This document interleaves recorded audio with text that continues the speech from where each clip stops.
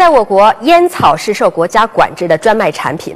任何个人呢想要贩卖香烟，都必须要到烟草专卖局办理销售许可证。可是呢，在南京栖霞区开小超市的一对浙江籍夫妻，竟然对这个法规浑然不知，足足非法卖了三年的香烟，直到被逮捕的时候才知道，卖香烟是要办证的。谢某夫妻俩是浙江台州人，二零一零年来南京谋生。夫妻俩在栖霞区承包了一个小超市，但是买卖却不是很好。妻子张某发现，上门最多的就是买香烟的人，不如进点香烟来卖，提高营业额。我带几条卖卖，但是就带几条卖卖。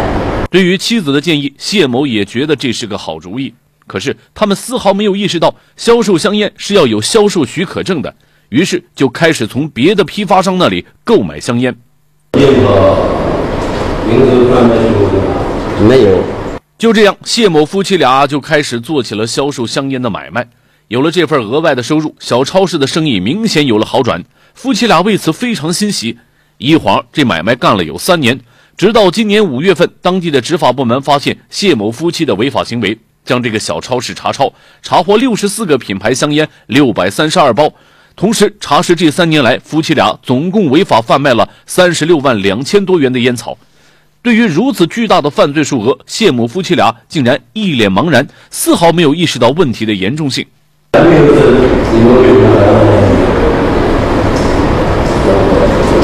正就为了为了多挣点钱吧。但是刑法规定，非法经营国家专卖的烟草构成非法经营罪。非法经营数额在二十五万元以上的，要处五年以上有期徒刑；而谢某夫妻俩贩卖的烟草数额达到了三十六万多元，属于情节特别严重。直到这个时候，对法律一窍不通的夫妻俩傻了眼儿。